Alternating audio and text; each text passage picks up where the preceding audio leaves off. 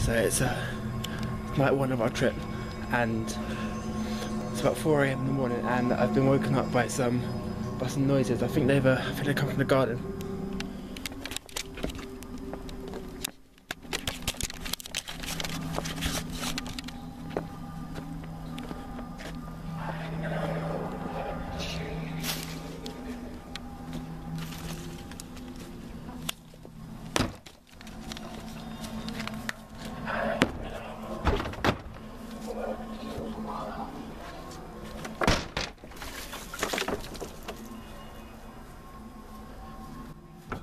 Got to tell the guys. I don't think they're gonna believe me.